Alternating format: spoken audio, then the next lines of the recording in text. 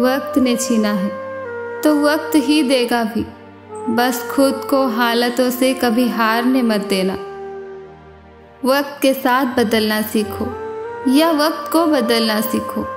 मजबूरियों को कोसो मत, हर हाल में चलना सीखो।